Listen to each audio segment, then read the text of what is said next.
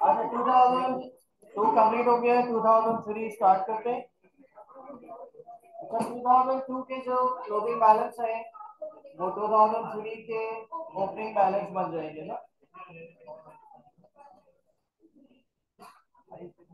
To thousand three में receivable का opening balance होगा।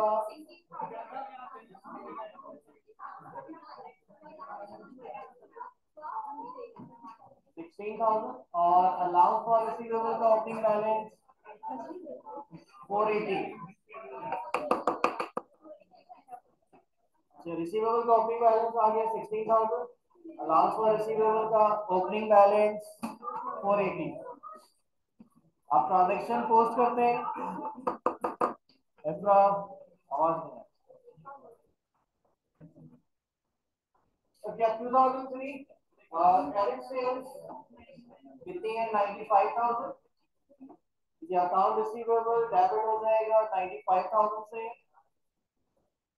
अच्छा इसके बाद कलेक्शन या रिकवरी के 90000 और 96000 ये दो मतलब सिचुएशन बनाई है मैंने कि 90000 कलेक्शन हो तो आंसर क्या आएगा और 96 कलेक्शन हो तो आंसर क्या आएगा फ़िलहाल हम इसे सॉल्व कर रहे हैं 96000 से ठीक है से आप घर पे सॉल्व कीजिएगा। कलेक्शन हो रही है नाइन्टी थाउज़ेंड सिक्स थाउज़ेंड की। ये अकाउंट रिसीवेबल क्रेडिट हो जाएँगे नाइन्टी सिक्स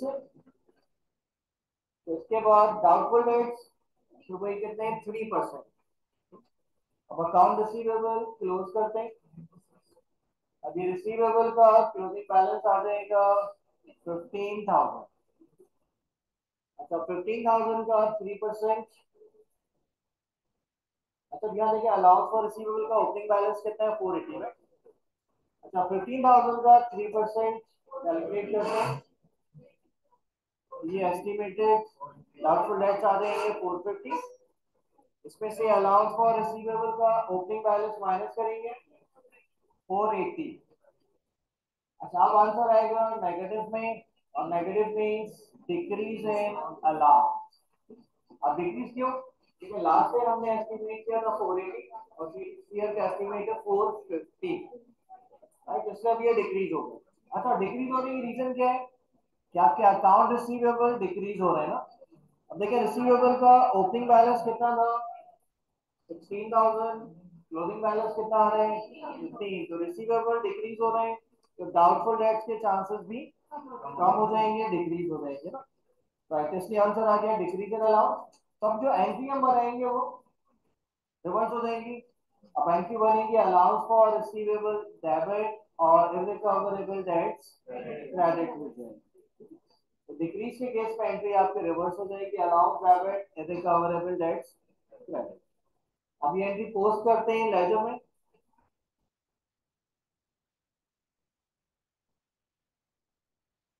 यहाँ पे एंट्री पोस्ट करते हैं तो ये रिकवरेबल डेट्स अकाउंट क्रेडिट होगा और allowance for receivable account debit हो जाएगा। अब अकाउंट क्लोज करेंगे। अलाउंस अकाउंट क्लोज करते हैं इसका कैरी डाउन आ जाएगा फोर फिफ्टी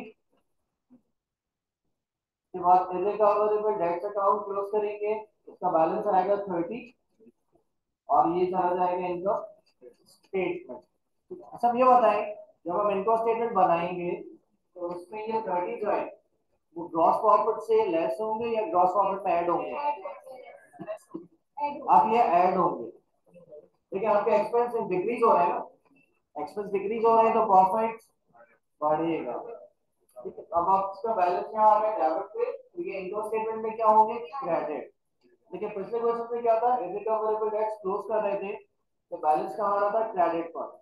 जैसे हमने इनकम स्टेटमेंट में किया था debit debit means expense increase हो रहे हैं तो माइनस करेंगे। अब यहाँ बैलेंस आ रहा है डेबिट पे तो इनकम स्टेटमेंट में क्या होगा?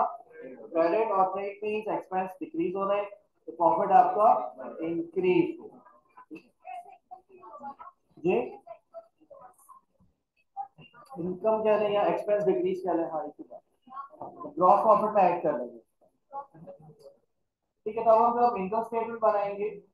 तो इसमें थर्टी जो है वो क्रेडिट हो जाएँगे।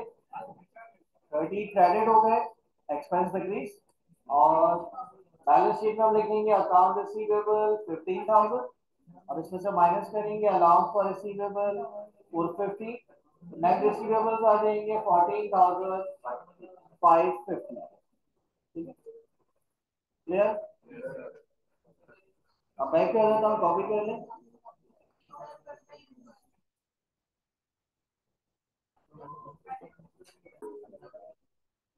क्वेश्चन नंबर थ्री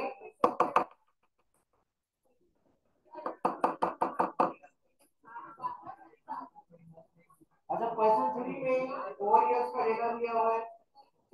जैसे भी हम ईयर वाइज सॉल्व करेंगे अच्छा रिक्वायरमेंट सेम है जो क्वेश्चन टू की थी बस उसमें क्या डेटा थोड़ा ट्रांजेक्शन ज़्यादा है। क्वेश्चन टू में ट्रांजेक्शन कम थे।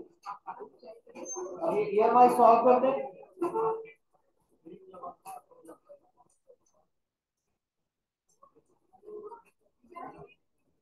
जब रिसीवेबल का ओपनिंग बैलेंस इसमें ले लें रिसीवेबल का ओपनिंग बैलेंस नहीं। सेल्स कितनी है credit sales five lakh receivable account debit हो जाएगा।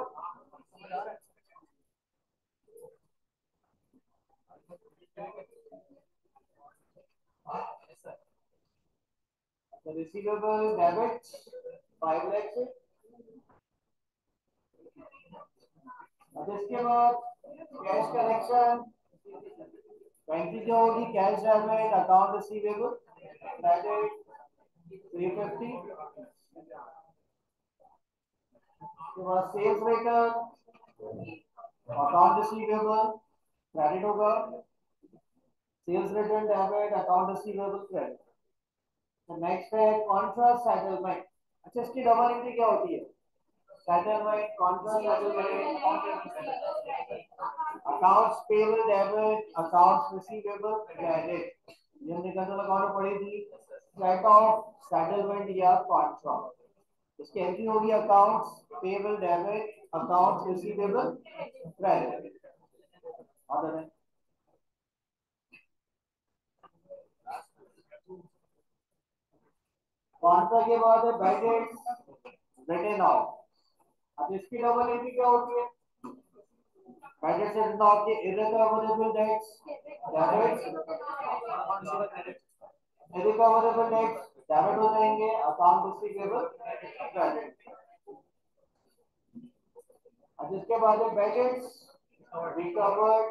नहीं नहीं अच्छा इसकी एंट्री होती क्या वैसे? एंट्री क्या बनेगी? Cash debit irrecoverable debts credit फ़िलहाल मिले अगर उसके बाद डाउटफुल डेट्स कितने हैं 5% तो अकाउंट रिसीवेबल क्लोज करते हैं। अकाउंट रिसीवेबल अकाउंट क्लोज करेंगे। इसका क्लोजिंग बैलेंस आ गया आपके पास one lakh twenty thousand